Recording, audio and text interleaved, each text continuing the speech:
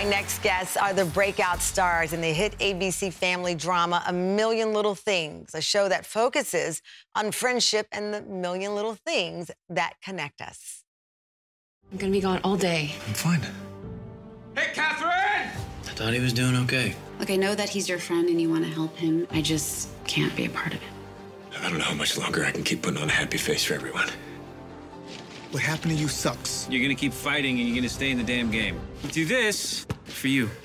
The series follows a group of friends experiencing loss and the struggles that followed. Please welcome David Giuntoli and James Roday Rodriguez. David plays Eddie, a recovering alcoholic father, and James plays the lovable Gary. Thank you both for joining us. Thank you for Thanks for having having us. Absolutely. You know, I, I got to tell you, as I said, that the theme of our show today is that the connection that we have. David and James, I know each series um, brings, I think, something unique to the audience. For me, it's the way you approach the journey, especially from a man's perspective, David. Oh, yeah. This show, uh, one of the things that really kind of um, drew me to it was the focus on these friendships from a male perspective. Mm. I think a lot of times guy friends um, are taught how to drink beers next to each other, um, kind of razz each other, but never kind of go deep in a way that might seem too vulnerable.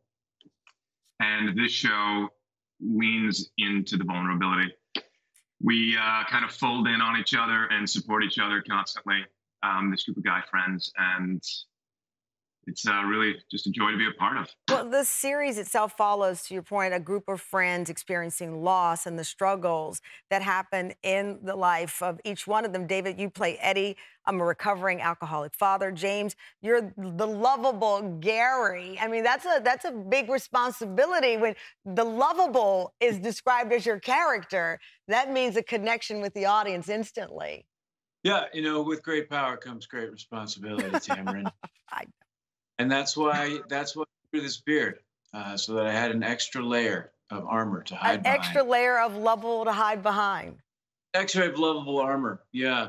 Um, I would I would echo everything that that David already said about uh, the show and and our attempt to sort of portray truth and authenticity, and I and I hope that that's what people respond to.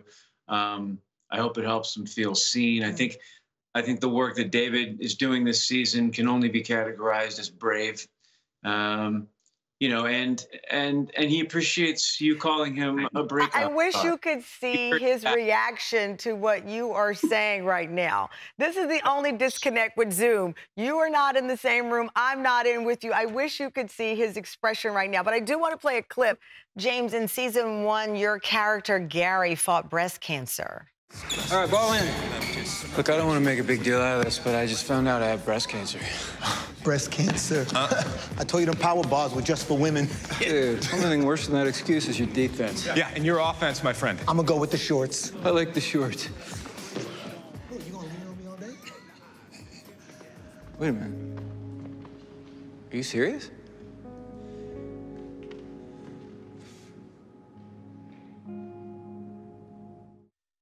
This is a unique perspective, I believe, that we don't often see enough male relationship, the bonding and friendship from that perspective. And now your character last season with something, again, we don't talk about that openly. Yeah, that's true. Uh, that was certainly one of the things that drew me to the show was uh, the opportunity to play uh, a man uh, struggling with breast cancer and to show that journey through a lens that we're not as familiar with. Um, that is my head twice its normal size, uh, and, and, you know, the, the truth is that while breast cancer uh, does not affect nearly as many uh, men as women, um, they are out there and their journeys are very real. And a lot of them uh, feel a lack of inclusivity and, and feel somewhat ostracized and are kind of looking for, for their tribe and their community to help them through it. And, and I, I definitely gravitated towards that element of the script. And I'm, I'm, I'm happy that we're doing it. I'm, I'm glad to be a part of that. Before I let you go, James, you made headlines over the summer adding Rodriguez back to your name, your surname. What what was behind that decision and, and what inspired that? uh, well, you know, we, we've had a hell of a year. I think that's fair to say. And, uh, you know, I was one of the the privileged uh, few who was able to just quarantine and stay safe.